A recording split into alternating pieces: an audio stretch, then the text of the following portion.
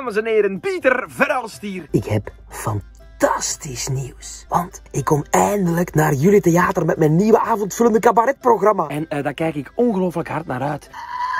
Het wordt een gezellige boel. Muziek, theater, cabaret, heel veel lachen, af en toe een traan. Het is een super toffe voorstelling. Het gaat over paarden en over liefde. Kom af mensen, kom af.